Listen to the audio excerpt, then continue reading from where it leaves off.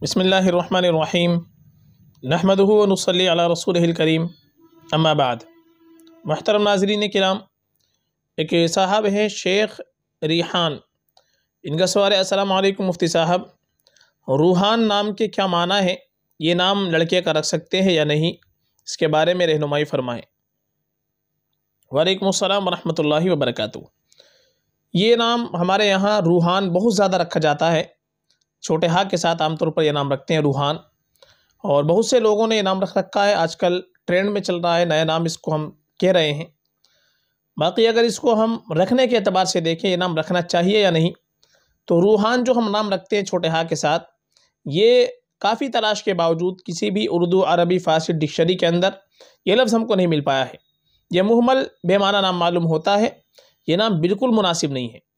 रूहान की जगह अगर हम इसको पढ़ते हैं बड़हा के साथ रूहान रा पर पेश के साथ तो रूहान ये रूह का तस्नी आएगा।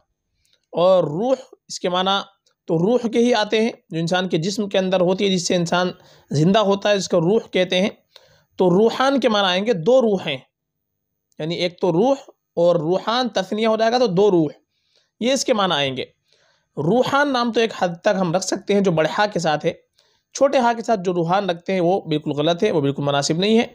बाकी इससे बेहतर ये है कि हम ये नाम रखें रोहान, रा पर ज़बर के साथ में। और आर के बाद यू नहीं लगाएँगे, उसके अंदर हम लगाएँगे R A U, Rohan. Rohan के माना आएँगे रिज्क, रोज़ी और खुशबूदार फूल। ये नाम अच्छा है, अगर हमको ये नाम रखना है तो न रूहान रखे, ना रूहान बड़े से रखे, बल्कि हम रखेंगे रोहान। रवान के आएँगे रिज्क, रोज़ी और इसी तरीके से खुशबूदार फूल। वो ज़्यादा बेहतर है। रूहान अगर हम रख लें, बाकी रूहान बड़े हाथ के साथ रख सकते हैं। छोटे हाथ से जो रूहान हम रखते हैं, ये बिल्कुल गलत है, ये सही नहीं है। ये बिल्कुल भी मुनासिब नहीं है। फ़कत वल्लम